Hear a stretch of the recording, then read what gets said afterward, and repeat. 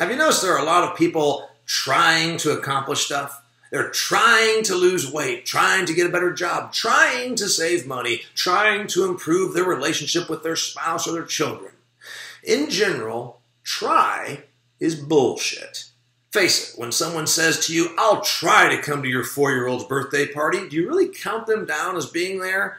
Of course not. They didn't want to come watch your four year old blow out birthday candles, but they wouldn't say that to you. So instead, they said, I'll try. Because try is what weak people say when they mean no. Likewise, when people tell you they're trying, it means they want credit for extending effort and commitment towards something that they've extended no effort or commitment toward. They just want to sleep good at night trying to tell you that they're trying. Does that make sense? You know what? Some folks even do one worse. They get together with you and they hug you and they say, How's it going with the new job search? And then you tell them, I haven't really got a new job. You say, But at least you tried. And you know what? That's enabling behavior that you don't need. So I'm challenging you to omit the word try from your vocabulary because it's not doing you any good. Stop telling people you're trying to do stuff that you're not.